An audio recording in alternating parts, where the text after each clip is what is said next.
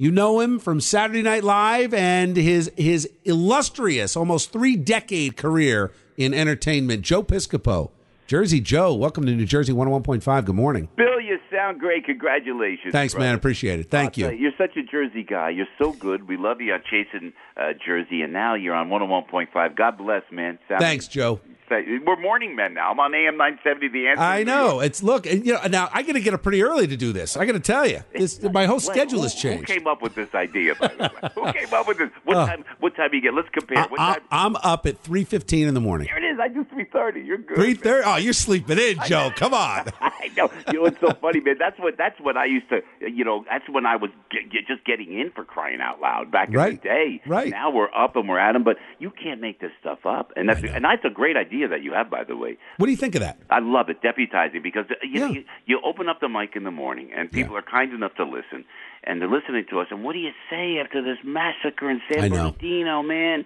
What's going? They blame guns. They're going to blame guns. Everybody's going to blame the guns. But Right. to come up with a great solution like you did by deputizing people, veterans, that's a great idea. I love Yeah, that. I mean, think about veteran unemployment is down. You could have even have uh, you know it could be part time paid potentially for some. I mean, there's a million ways to do this. I, I, you know, Joe, you and I have talked about this. You're a Jersey guy. You are Jersey Joe, Yeah. and you and I both get frustrated because the rest of the world loves to dump on Jersey, yeah. and we love it. Yeah. I- you know, I've told people, and I know you're with me on this. I'm digging Yeah, it. exactly. I always say I ain't going down. I ain't going down. Remember Raging Bull? I never went down, Ray. You never got me down. I feel the same way. And I look at the roads. I look at the rules, the regulations, the laws. I look at my property taxes going up every year. I look at the inheritance tax for crying out loud. I ain't going anywhere. You're absolutely right. Right, because somebody's got to stick it out and fight the fight, and it doesn't just have to be fight the good fight. You know, we're not chasing windmills here. No, I there's, know. There's an opportunity to win. It's exactly right, and you could turn it around. And I, I think so. with your mindset, and uh, I think what we try to even do on the radio here in New York,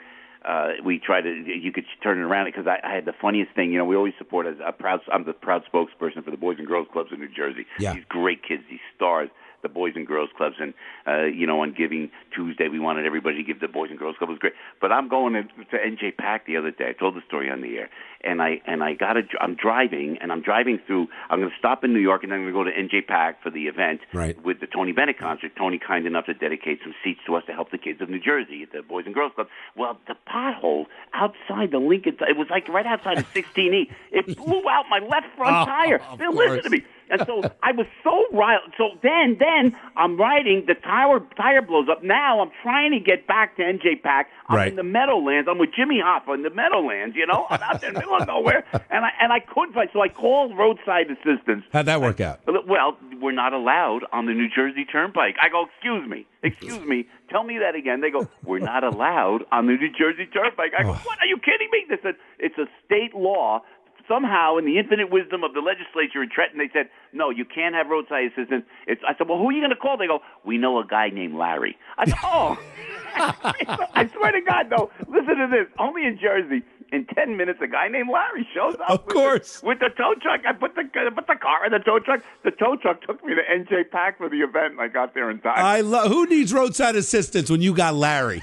I love Jersey. I love it. Jersey. And I said that speech. I got up there to all the fine folks kind enough to give to the boys and girls. Club. I said, "You can't make this up." And I ain't exactly what you said, Bill Spadea. I ain't going down. I'm I'm digging in. I love That's that. it. All right. It's hey, look, it's going to start with me and you, Joe. That's it. Well, well, look, I got to I got to jump for news, but always great to talk to you. Thanks for coming on New You Jersey what, Billy? 101.5. Let's talk soon. And, and I wanted to invite you to come out to the Sands in Bethlehem, PA, another great Okay. state of Pennsylvania. We're doing the Sinatra show December 12th at the Sands in Bethlehem. Love to see you there. I love it. All right. Thanks, Joe. Appreciate the invite. Bless you, Bill. Thank you. We're going to talk soon. Thanks, Joe. Keep up the great work. Thank you. Jersey Joe Piscopo, a Jersey icon. Always good to talk to him. Uh, we'll certainly have him on uh, back on again. What a what a great uh, career he is uh, had and still having. And he's with me. We're digging in.